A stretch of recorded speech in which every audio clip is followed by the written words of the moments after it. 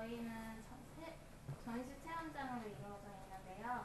여기는 거실, 서재, 욕실, 주방, 방으로 구성이 되어 있어요. 지금 여기는 서재이고요. 네, 보시면은 몇 가지 설명드릴게요. 이게 안구 마우스라고요.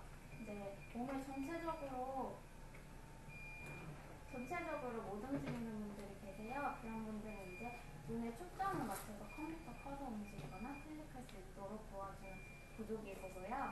이거는 복서확대기라고 이제 눈의 시력 좀 안 좋으신 분들을 위해서 이제 돌리시면은 확대가 돼요. 그 확대적으로 봐서 독서를 할 수 있도록 도와주는 구조기구입니다. 이게 보시면은 음, 마우스 선택기라고요. 이제 이불을 물고 키보드를 이렇게 누를 수 있도록 도와주는 구조기입니다.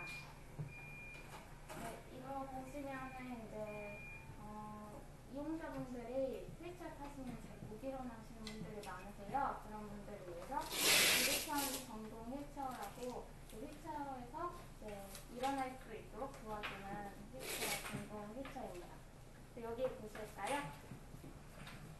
여기 보시면은 키보드가 크죠. 일반 키보드보다 커요. 이게 떨림이 있으시면은 일반 키보드를 사용하실 때 몇 개가 같이 눌려요. 그렇기 때문에 크게 만들어서 한 개씩 돌릴 수 있도록 도와주는 구조기구고요.